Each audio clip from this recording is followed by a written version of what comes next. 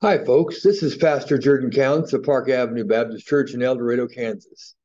We are located at 1101 South Arthur, uh, just south and west of Skelly Elementary School. Hey, we've been continuing to worship and study God's Word. Uh, Wednesday nights, we've been studying the book of Mark, reading big chunks of scripture and and reflecting on it. And on Sunday mornings, we are uh, reading scripture, we're reflecting on it, we're singing songs, and we're praying. Uh, I've been encouraged to hear uh, in the news lately that there's been a revival that started at Asbury uh, Church, Asbury College in Kentucky, and it spread all over the land. And someone uh, asked if they could bring in cameras, and they said, no, we'll come and talk to you. Because really, I believe what they're doing and what we're doing is uh, our audience is for one, and that is the triune God, Father, Son, and Holy Spirit. Um, this past Wednesday, just for some reflection, we read from Mark 6 30 through uh, Mark 8 30 and those scriptures just to highlight some of the awesome uh, reminders of who Jesus is.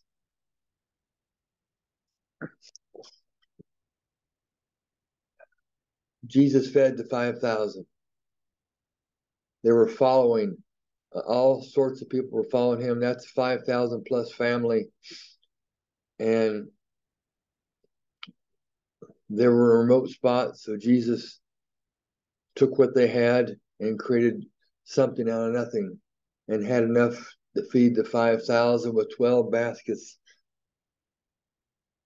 left over. Then he went off for some time to pray and he sent his disciples across the way and he came walking to him on the water and they were scared. that body of water uh, is known, and I, I once heard that it's still known for having storms that come up quickly. And they were they were afraid. And they came he came walking to them and said it's okay i'm here. And he got onto the boat and the winds calmed. People kept following him. A woman was an un uh, oh no excuse me. Then the the pharisees come and ask jesus why aren't you? All this stuff is going on.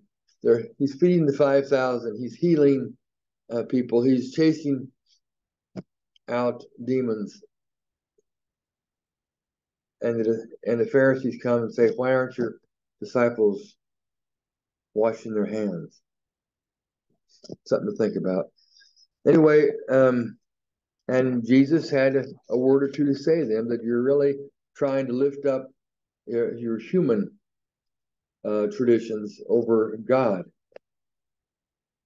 And then there's, as he left the crowd and he entered a house, and uh, the disciples asked, What's going on here? And Jesus reminded them that they still they were still learning too, and re- who he was. Um, and said it's not what we take into the body that defiles us, but what comes comes out of our heart. And then a woman, uh, the, they call her the Syrophoenician woman. And he tried to go somewhere where people wouldn't see him, but they he knew about it.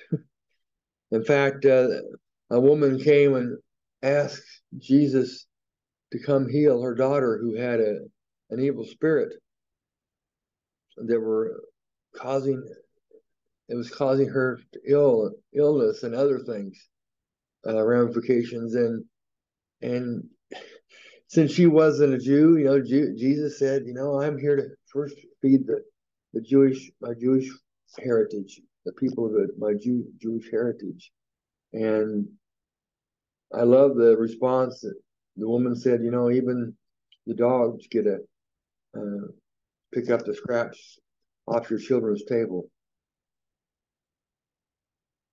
And he said, good answer. Go home. Your your daughter's healed. And again, then he heals a, a, a deaf and mute, mute man. And they continue. And Jesus feed, uh, feeds another 4,000 plus. And they go on. And Jesus, the Pharisees showed up again. Why? And came and they began to question Jesus to test him. They asked him for a, a sign from heaven. He highly deep he sighed deeply and said, Why does this generation ask for a miraculous sign? I tell you the truth, no sign will be given to it. They were looking for the gossip, if you will. They were looking for the something to put on the news. Jesus was dealing with people. And then there's one more healing in this. Uh, and before that healing comes, the disciples came and they they they took it they they they left that crowd to go to someplace peaceful to reju- rejuvenate. And they forgot and only took one loaf of bread with them. And the disciples at some point in time uh, on that time away going to that peaceful spot said lord we only have one loaf of bread. What are we going to do? Still hadn't realized who they are dealing with i said and he reminded them you know we fed the 5000 plus fed the 4,000 plus. and you're concerned that we just have one loaf of bread?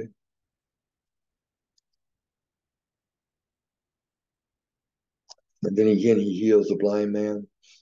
And at the end of this section of scripture, uh, when Jesus finally says, so Who do the people say that you are? And they, they give the response of what the public was saying. But then uh, Jesus says, How about you, Peter? And Peter finally has gotten it. He said, You are the Christ. And Jesus warned them not to tell anyone about him, but we know how that went. That's when things happen. So the two conversations I want you to think about as I've uh, gone through the uh, the words to because he lives, I can face tomorrow. It's not because a great man lived a long time ago and did some miraculous things. Jesus was saying to the to the Pharisees and the disciples, reminding them who they had encountered. The Pharisees were more concerned about, well, you didn't do the things the proper ritual way. I'm not saying there is not a place and uh, for traditions that we can use that to remind us of some key elements of everything that Jesus has offered us. And then the disciples who had watched all this happening, feeding two different groups of people, Jesus calming the storm, Jesus uh, healing the man who couldn't hear, speak.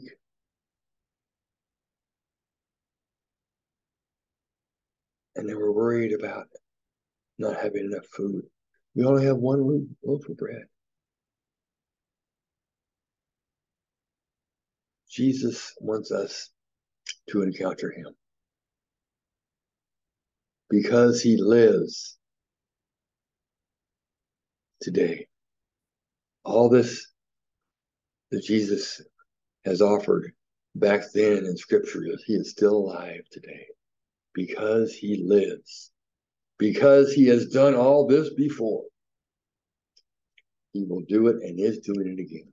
I do not believe that acts, miracles stop happening some time ago. There's a group of uh, school of thought called cessationists who believe that miracles don't happen anymore. I don't believe that.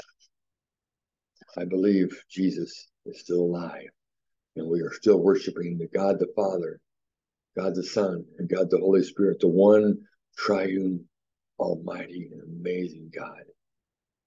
In his name we pray. Amen. Hey,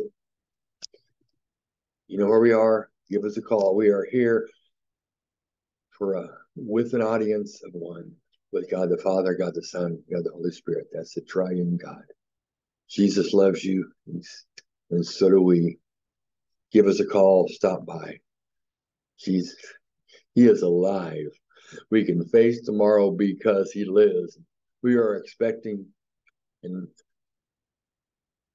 uh, in faith, giving each day to God for Park Avenue's next chapter of what He will do,